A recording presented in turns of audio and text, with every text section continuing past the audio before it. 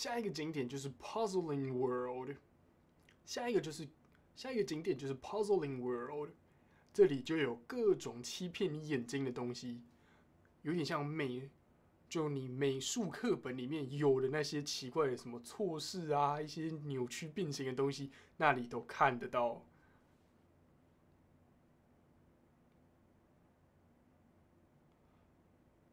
那 Puzzling World 里面有一个巨大的人，那 Puzzling World 里面有一个超巨大的人走的迷宫，玩过的人都说超难，但是我没有玩，我不知道。但是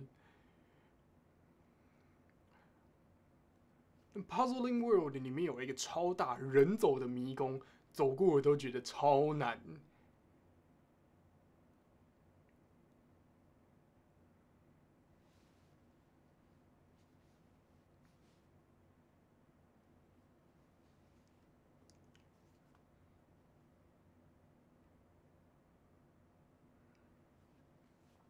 我自己是觉得，我自己是觉得普通普通，我自己是觉得普通普通。如果有小孩，